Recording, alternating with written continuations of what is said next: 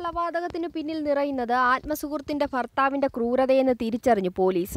ഏറ്റവും അടുത്ത സുഹൃത്തിന്റെ ഭർത്താവുമായുള്ള അടുപ്പം അതിരുവിട്ടതാണ് കൊലപാതകത്തിന് ഇടയാക്കിയതെന്നാണ് പോലീസ് തിരിച്ചറിയുന്നത്. കൊല്ലം മുഖത്തല നടുവിലക്കര ശ്രീ വിഹാറിൽ സുചിത്രപിള്ളയുടെ കൊലപാതകത്തിൽ എല്ലാ സാഹചര്യ ശാസ്ത്രീയ തെളിവുകളും പ്രശാന്തിന് എതിരാണെന്നാണ് പോലീസ് വിലയിരുത്തുന്നത്. കേസിൽ അതിവേഗം കുറ്റപത്രം നൽകും. കൊല്ലപ്പെടുമ്പോൾ സുചിത്ര ഗർഭിണിയായിരുന്നുവെന്നാണ് പോലീസ് പറയുന്നത്. കേസിൽ പ്രതിയായ കോഴിക്കോട് വടകര സ്വദേശിയായ പ്രശാന്ത് കൊല്ലം കൂനമ്പായിക്കുളത്തു നിന്നാണ് ഒന്നര വർഷം മുമ്പ് വിവാഹം കഴിച്ചത്. ഭാര്യയുടെ കുടുംബ സുഹൃത്തായ സുചിത്രയുമായി സംഗീത അധ്യാപകനായ പ്രശാന്ത് സൗഹൃദത്തിലായി. സമൂഹ മാധ്യമങ്ങളിലൂടെ തുടർന്ന അടുപ്പം പ്രണയത്തിലേക്ക് വഴിവെച്ചു. മുഖത്തലയിലെ സമ്പന്ന കുടുംബത്തിലെ അംഗമാണ് സുചിത്ര പിള്ള. ചില സാമ്പത്തിക ഇടപാടുകളും ഇവർ തമ്മിൽ ഉണ്ടായിരുന്നതായി പോലീസിന് സംശയമുണ്ട്. സംഗീത അധ്യാപകനായ ഇയാൾക്ക് പിയാനോ വാങ്ങാനായി സുചിത്ര കടമായി രണ്ട് ലക്ഷം രൂപ നൽകിയിരുന്നതായും പോലീസ് പറയുന്നു. ഇതിന്റെ തെളിവും പോലീസിന് കിട്ടിയിട്ടുണ്ട്. സുചിത്ര രണ്ടായിരത്തി എട്ടിൽ കൊട്ടാരക്കര സ്വദേശിയും രണ്ടായിരത്തി പതിനഞ്ചിൽ ഹരിപ്പാട് സ്വദേശിയെയും വിവാഹം കഴിച്ചിരുന്നു. ഈ ബന്ധങ്ങൾ നിയമപരമായി വേർപെടുത്തുകയും ചെയ്തു. കൊല്ലം പള്ളിമുക്കിലെ അക്കാദമി സെന്ററിൽ ബ്യൂട്ടീഷ്യൻ ട്രെയിനറായി ജോലി ചെയ്യുകയായിരുന്നു സുചിത്ര പിള്ള. ഭർത്താവ് തന്റെ വീട്ടുകാരുമായി സ്വരച്ചേർച്ചയിലല്ലാത്തതിനാൽ മറ്റൊരു സ്ഥലത്താണെന്നാണ് സുഹൃത്തുക്കളോട് ഇവർ പറഞ്ഞിരുന്നത്. സമയം പോകാൻ വേണ്ടി മാത്രമായിരുന്നു ജോലിയെ സുചിത്ര കണ്ടിരുന്നത്. പ്രശാന്തിന്റെ ഭാര്യയുമായി സുചിത്രയ്ക്ക് വർഷങ്ങളുടെ സൗഹൃദമുണ്ടായിരുന്നു. വീട്ടിലിടയ്ക്കൊക്കെ സുചിത്ര വരുമായിരുന്നു. ഈ കുടുംബ സൗഹൃദം വീട്ടുകാർ അറിയാതെ പ്രശാന്തുമായുള്ള പ്രണയത്തിലേക്ക് വഴിമാറുകയായിരുന്നു. പ്രശാന്തും സുചിത്രയും നിരന്തരം ബന്ധപ്പെട്ടിരുന്നു. ഗർഭിണിയാണെന്ന കാര്യം പോലീസ് ഏതാണ്ട് സ്ഥിരീകരിച്ചിട്ടുണ്ട്. പ്രശാന്ത് ഭാര്യയ്ക്കും മാതാപിതാക്കൾക്കുമൊപ്പം പാലക്കാട്ടെ വീട്ടിലായിരുന്നു താമസം. സ്കൂൾ അവധിയായതോടെ ഭാര്യ ഇയാൾ കൂനമ്പായിക്കുളത്തെ വീട്ടിലാക്കിയിരുന്നു.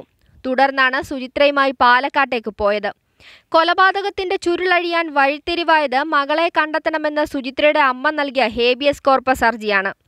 എറണാകുളത്ത് കോഴ്സിന് പോകുന്നെന്ന് പറഞ്ഞ് വീട്ടിൽ നിന്നിറങ്ങിയ സുചിത്ര അടുത്ത രണ്ട് ദിവസം വീട്ടിലേക്ക് വിളിച്ചിരുന്നു. പിന്നീട് വിവരമില്ലാതായതോടെ ബ്യൂട്ടി പാർലർ ഉടമയെ അമ്മ വിളിച്ചപ്പോൾ ഭർത്താവിന്റെ അച്ഛന് സുഖമില്ലാത്തതിനാൽ ആലപ്പുഴയ്ക്ക് പോകുന്നെന്നും അഞ്ചു ദിവസം കഴിഞ്ഞേ വരൂ എന്നും പറഞ്ഞിരുന്നതായി അറിഞ്ഞു. ഇതോടെയാണ് പോലീസിന് പരാതി നൽകിയത്. തുടർന്ന് ഹൈക്കോടതിയെ സമീപിച്ച് ഹർജി നൽകി. പിന്നീട് അന്വേഷണം എ നേതൃത്വത്തിലുള്ള ജില്ലാ ക്രൈംബ്രാഞ്ച് സംഘത്തെ ഏൽപ്പിച്ചു.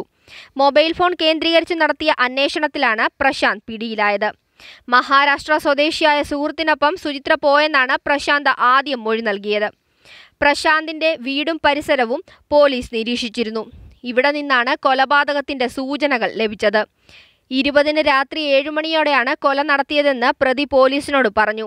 വയർ കഴുത്തിൽ മുറുക്കി കൊലപ്പെടുത്തുകയായിരുന്നു. ഈ സമയം സുചിത്രയുടെ അച്ഛന്റെ ഫോൺ എത്തിയെങ്കിലും പ്രശാന്ത് ഫോൺ സ്വിച്ച് ഓഫാക്കി. അടുത്ത ദിവസം മൃതദേഹം മറവ് ചെയ്തു. കത്തിച്ചും കുഴിച്ചുമൂടിയുമായിരുന്നു ഇത്. അതിനുശേഷം സുചിത്രയുടെ മൊബൈൽ ഓണാക്കിയ ശേഷം പ്രശാന്ത് രാത്രി കാറിൽ തൃശൂർ മണ്ണൂത്തിയിലെത്തി. ഈ സമയം പ്രശാന്തിന്റെ മൊബൈൽ ഓഫ് ചെയ്ത് വീട്ടിൽ വെച്ചിരുന്നു. മണ്ണൂത്തിയിലെത്തി സുചിത്രയുടെ ഫോൺ നശിപ്പിച്ചു കളഞ്ഞ ശേഷമാണ് മടങ്ങിയെത്തിയത്.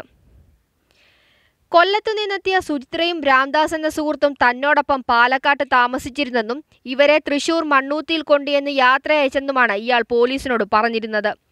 ഇവർ മഹാരാഷ്ട്രയിലേക്ക് പോയതായും പോലീസിനെ വിശ്വസിപ്പിക്കാൻ ശ്രമിച്ചു. ഇതിന് ബലം നൽകുന്നതിനാണ് ഫോൺ മണ്ണൂത്തിൽ കൊണ്ടുപോയി നശിപ്പിച്ചത്.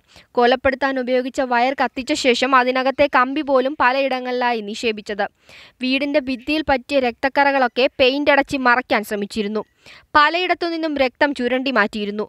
സുചിത്രയുടെ ഭാഗം വസ്ത്രങ്ങളും മറ്റൊരിടത്തിട്ട് കത്തിച്ചു കളയുകയുമാണ് ചെയ്തത്. Web desk Tatwamayi news.